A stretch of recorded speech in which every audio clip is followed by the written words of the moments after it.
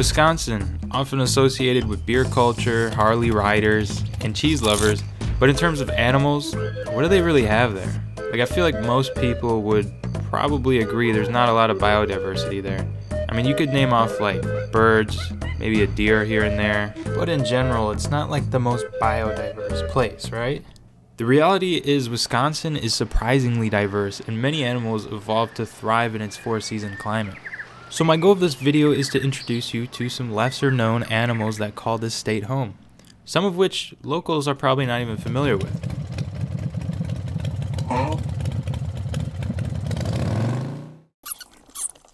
First on our list is the slender glass lizard, and I know what you're thinking it's a snake. Not a snake. It looks like a snake, but I'll explain that in a second. Despite being one of only four lizard species in Wisconsin, I think it's safe to say that most people probably have no idea of its existence. In fact, I feel like most people probably don't even think lizards are in Wisconsin. Like, yeah, a lot of people here go down to Florida and they're like, oh yeah, there's all these lizards, these critters, and then I come back here and there's not so much. Which, generally speaking, is true, but we do also have lizards. They're just a little bit different. Especially this one. This is a legless lizard. Dan, that is literally a snake. It's not a snake, but it's almost a snake. I mean, it's kind of like a lizard that's halfway evolved into becoming a snake.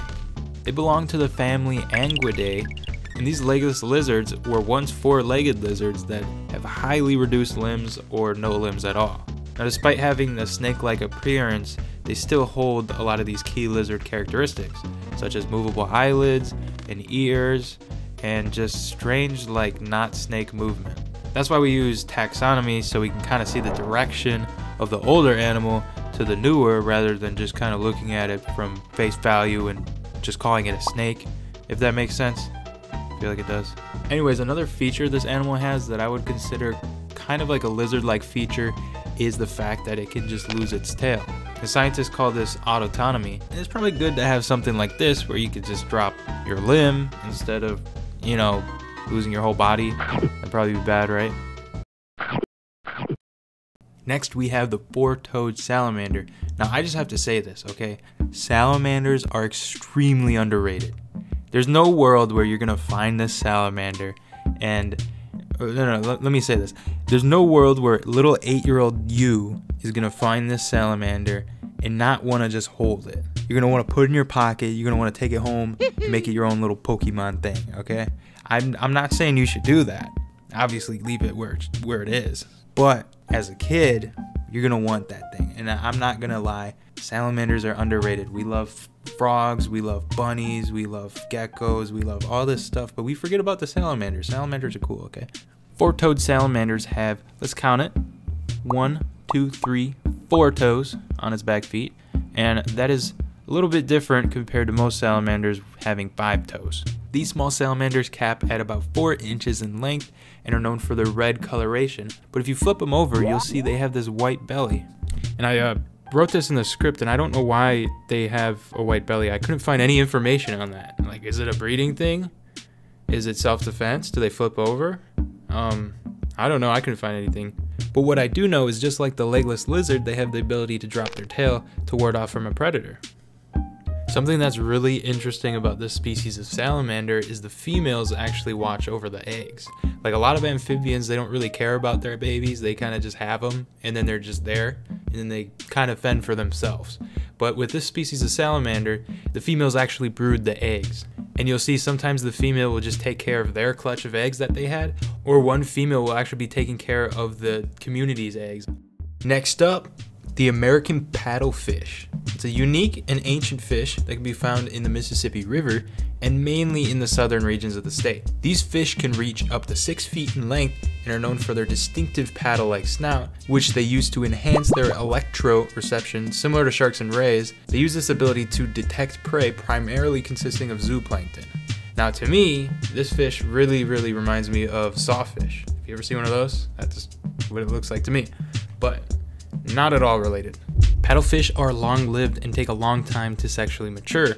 Females do not begin spawning until they are 6 to 12 years old and they don't even spawn every year, which historically probably works out for the species when food is abundant and their ecosystems are stable. But if you listen to the news or anything like climate related recently, You probably know that's not really the case. This species is declining and they're marked as vulnerable by the IUCN.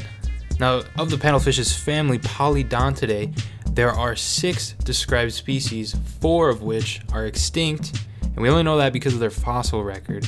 Now, of the two extant species, one is our friend the American paddlefish, we know and love from Wisconsin, and one is from the Yangtze River Basin in China. And actually, never mind, that one's extinct too. So, I hate to say it, but the American paddlefish is the lone survivor of its lineage.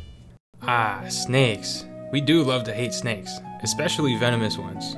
This is the eastern Massasauga. It's a venomous snake, and most people probably have never heard of this one which is in contrast to the only other venomous snake here in Wisconsin being the timber rattlesnake. The Massasauga is a pretty small snake, typically reaching only 2 to 3 feet, which might sound like a lot, but is actually really small in terms of snake size. Typically, you'll see them gray or brown in color with distinct dark, irregular blotches on their back. This species is known for its vertical pupils and other characteristics of pit vipers, like a triangular shaped head and the iconic heat sensing pits. Eastern Massasaugas are generally found in wetlands such as marshes, bogs, and swamps, but they can also be found in prairies and other special habitats like underneath your porch maybe. Unfortunately, they do have a small native range here in Wisconsin, and a lot of people just decide to kill them because they don't want them near their kids or anything like that. Which I guess I understand you want to protect your family, but everyone deserves their spot on the tree of life. So, for the last one, I want to talk about a mammal, and I feel like a really good pick would be the eastern red bat. They're known for their rusty or orange red fur, definitely setting it apart from the other bat species found in the state. And yes, there is six other species you can find here.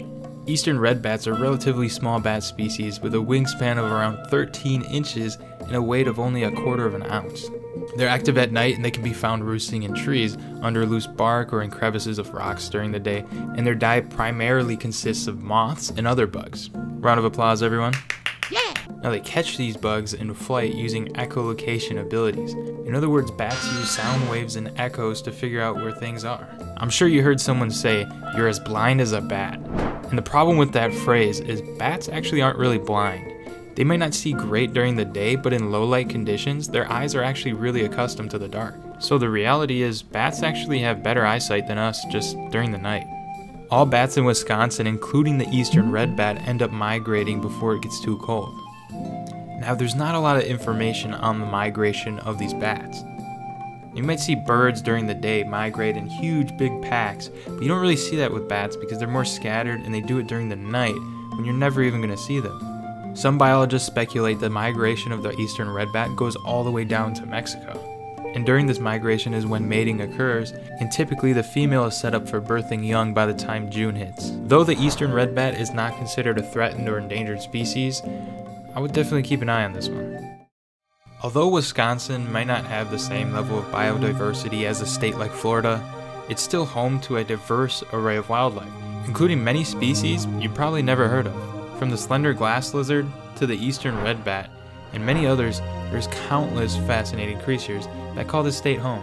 I hope that this video sparked your interest in learning more about animals, especially the ones that are a little bit more low key. So if you like this video, maybe gain some brain wrinkles, or lost some, that's also possible. Make sure to subscribe for more.